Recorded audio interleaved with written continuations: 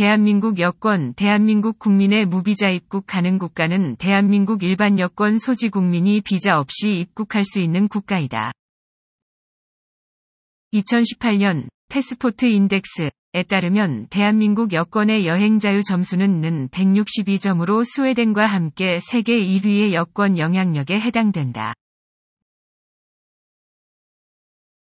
2018년 The Henley ampersand Partners Visa Restrictions Index에 따르면 대한민국 여권으로 무비자 혹은 도착비자 등으로 여행할 수 있는 국가 및 지역은 188개국 및 지역이며 독일, 프랑스와 동일한 세계 3위의 비자 자유도에 해당된다.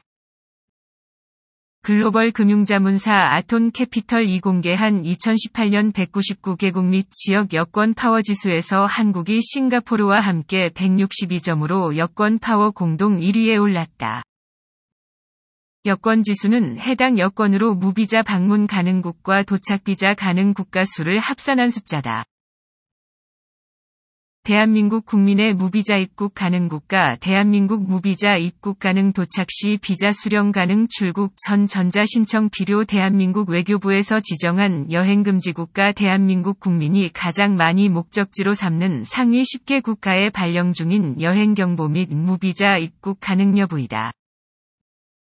모든 국가의 자세한 정보는 하단에 대한민국 여권으로 비자 면제 및 도착 비자가 가능한 국가 및 지역 문단을 참조하고 모든 국가의 자세한 여행경보 발령 상황은 하단에 여행경보제도 문단을 참조하면 된다. 대한민국 외교부에서는 여행금지 국가를 지정하고 있다. 다음 국가에서는 대한민국 국적자의 여행이 금지되며 무단으로 방문할 때에는 1년 이하의 징역 또는 1천만 원 이하 벌금에 처하게 된다. 다만 영주, 취재 및 보도, 긴급한 인도적 사유, 공무 등 대통령령으로 지정하는 목적의 여행으로 외교부 장관이 필요하다고 인정하면 여권의 사용과 방문 체류가 가능하다.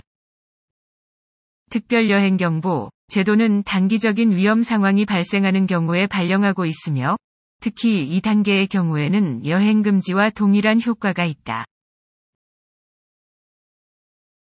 단기체제 혹은 무비자로 입국할 때 이용 가능한 국가 및 지역이며 국가별로 등록 조건이나 이용 조건, 유효기간이 상이하므로 사전에 꼼꼼히 체크하여야 한다.